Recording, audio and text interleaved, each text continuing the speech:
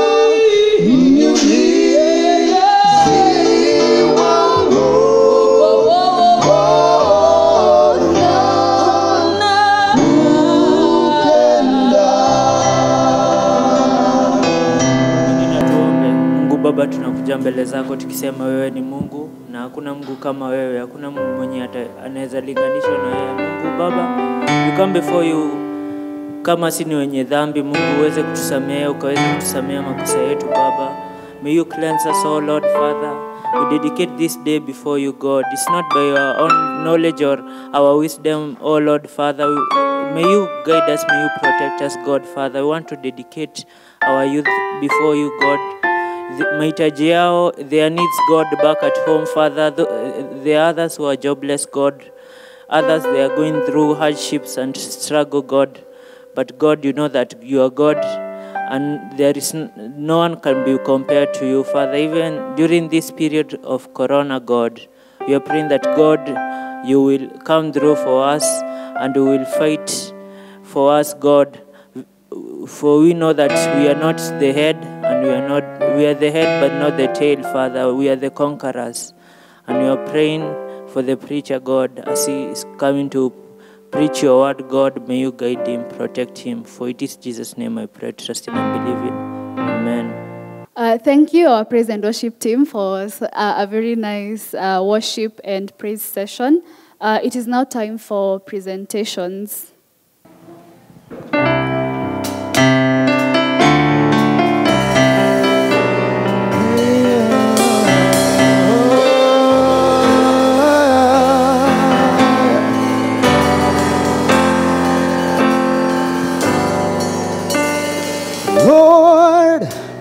Proclaim you now of your mighty power and your awesome majesty.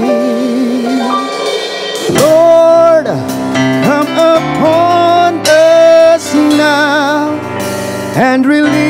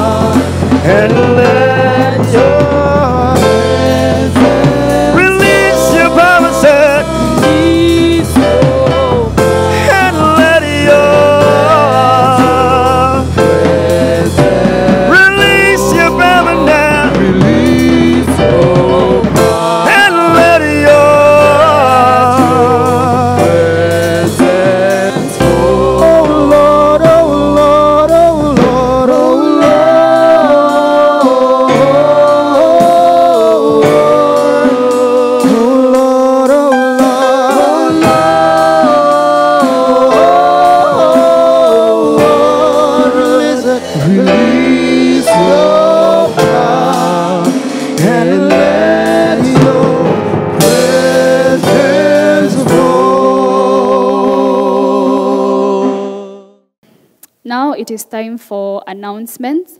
Um, I would like to remind you that we do have a Bible study every Tuesday on Zoom.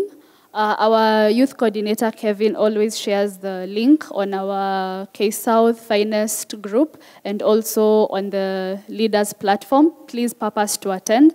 It is a very, very nice session.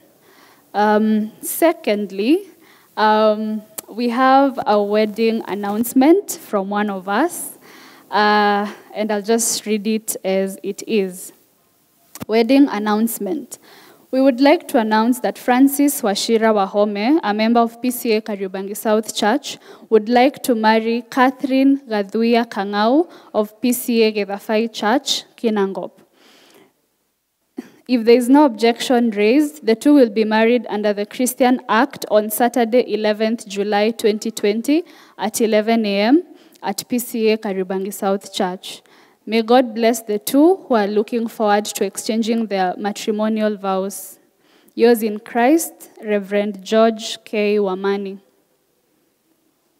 At least we have some very, I must say, fantastic news amidst um, what uh, this coronavirus pandemic. So we pray that their day will be good and they'll have a blessed marriage. I'll take this chance to welcome the reader.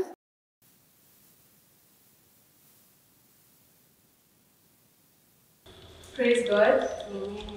Praise God. Amen. Uh, my name is Margaret Owetima. I'll, I'll take you through the reading today, which comes from the book of Galatians, chapter 5, verse 16 to 25. So let's read. But I say, walk by the Spirit, and you will not gratify the desires of the flesh. For the desires of the flesh are against the Spirit, and the desires of the Spirit are against the flesh. For these oppose to each other to keep you from doing the things you want to do. Verse 18 But if you are led by the Spirit, you are not under the law. Now the works of the flesh are evident sexual immorality, impurity, sensuality, adultery, sorcery, enmity, strife, jealousy, fits of anger, rivalries, dissension, divisions, envy, drunkenness, orgies, and things like this I warn you, as I warned you before, that those who do such things will not inherit the kingdom of God. Verse 22 But the fruits of the Spirit is love, joy, peace, patience, kindness, goodness, faithfulness, gentleness, self control. Against such there is no law. And those who belong to Christ Jesus have crucified the flesh with its passions and desires. In the last verse, if we live by the Spirit, let us also keep in step with the Spirit. Let us not become conceited, provoking one another, envying one another. And that is the word of God. Praise be his word. Amen. Bwana asifiwe. I hope you're well when you're at home and listening to us from home, and I hope the Lord has kept you through the week uh, since you listened to us again on Sunday. Uh, we, we thank God that He has kept you because we believe in faith that, that He's sustaining you. We have an exciting topic today. Are you feeding your spirit? And it's a reflection that is, that is good to have, especially during this season. Uh, the government and friends and companies have, uh, and individuals are very quick to try and address the issue of hunger because some of us now we don't have jobs and maybe we are not able to, to buy food because it's an essential thing that we have. It's a basic need in our lives to have food uh, and because we are not able to live without that. And our reflection today is that what is happening to our spirit, just like we are trying to take care of our physical bodies, are we taking care of our spiritual bodies? Because when we, we don't have food, we starve.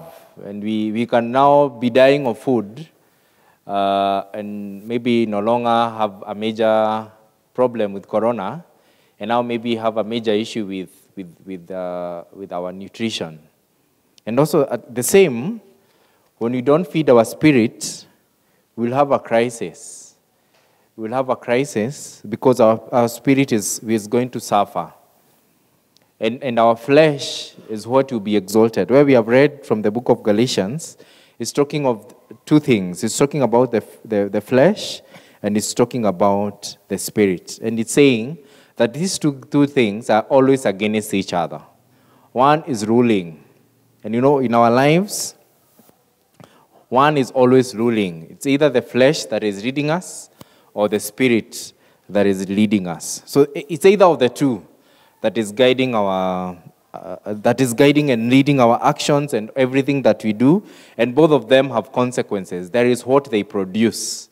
You know when i'm walking in the flesh there is what the flesh produces. When i'm walking in the spirit there is what the, the spirit produces as we've been guided from the book of galatians chapter 5 in Matthew 7, verse 16, it talks about that you will recognize them by their fruits. He's talking about the false prophets, and he's saying that you recognize these false prophets by their fruits.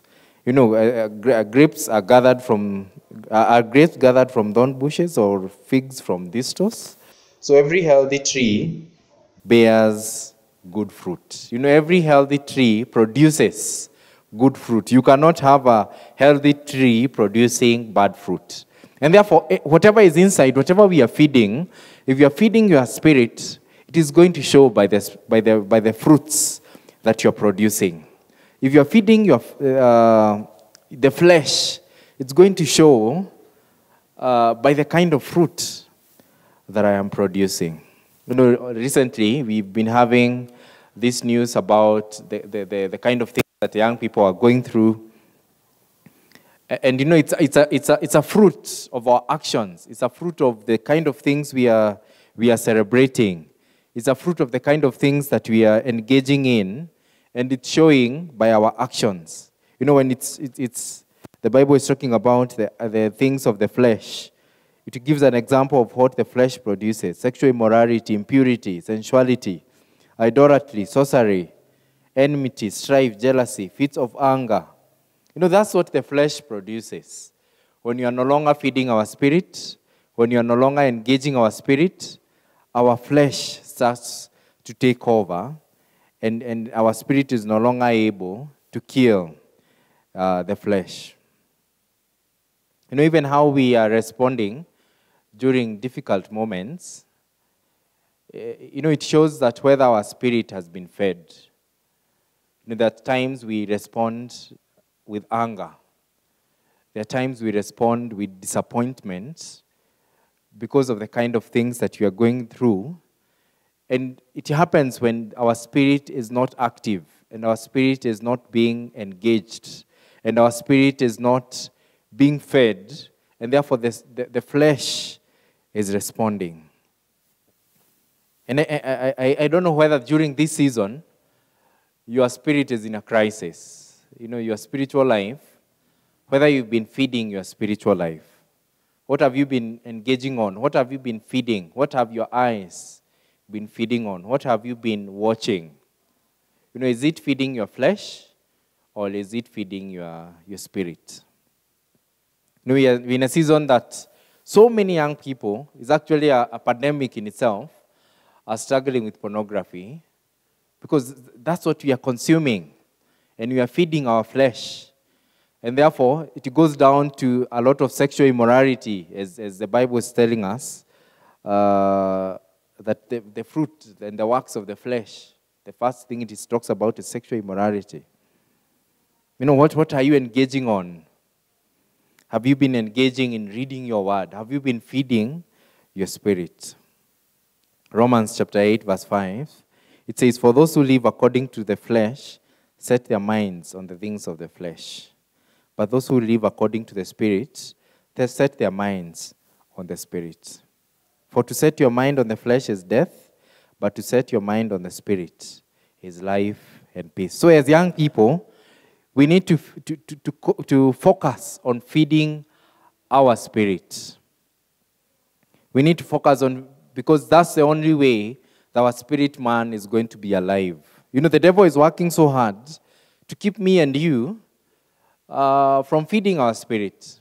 He is strategizing day and night to even keep us in church, but kill our, our spirit, you know, that we can still be in church, active, but he's strategizing day and night to see how our spirit is not going to survive. We can watch movies 24 hours, eh? Tunaweza watch series 24 hours hata bila kulala. But wakati tu tutaanza kuwatch hii service yetu na around 30 minutes ndio usingizi na come ndio now you have other things to do. You can't even concentrate for just 30 minutes to listen to a service. But we can watch a movie and retell the whole story, you know, for many hours. And you know, it's the devil at work that he doesn't want us to consume the things of God. You know, because other things are very easy to do. They're very easy to engage in. You know, you know, you can read a novel, with, you know, for a, a, a big novel, but it's very difficult to read the Word of God. And it's a strategy of the enemy that even us who are in church, we can be in church, but we are not feeding our spirit. And I, and I hope that our spirit is still alive. And it's determined by how are we feeding it? What are we engaging in?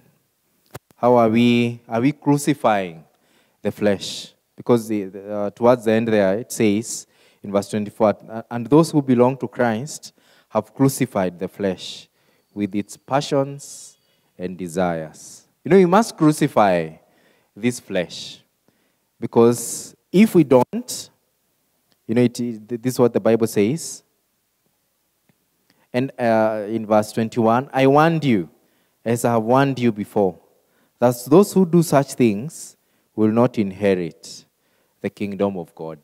You know, when we engage in such acts of the flesh, that we will not inherit the kingdom of God. That's ultimate price of engaging with the things of the flesh.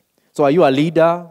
Are you an elder? Are you a pastor? Are you a, you know, whatever you are, our, if we don't continue feeding our spirit, we will starve it to death. You know, if we don't continue engaging with the things of God and feeding our spirit, it's- going to be starved. And we are, going, we, are, we are no longer going to have hope in Christ. We are no longer able to produce fruit in the Lord. Because fruit, you don't struggle producing fruit. If you are a good fruit, you are a good tree, you're going to produce good fruits. If you are not a, a good tree, a diseased tree, what's what my version says, that if you are a diseased tree, you're going to produce bad fruit. So whatever is inside is what you produce. You know, if you are struggling with sin, you're struggling to leave sin, and sin becomes easy, you know, it's, sin has become easy in your life.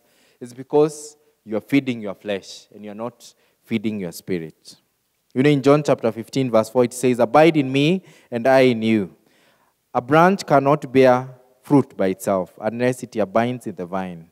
Neither can you unless you abide in Christ. You know, unless we are engaged in the Lord, unless we anchor ourselves in Christ, we cannot produce any fruit. And he talks about that any fruit does not, that does not bear any, any tree, any branch that does not bear any fruit, it will be cut off and thrown out into the fire. I pray that the Lord may help us, that, that us who believe, will not, you know, be thrown off because we are no longer producing. That you be Christians who are careful and Christians who are going to abide in the Lord so that we, are, we will be able to produce. You know, are you feeling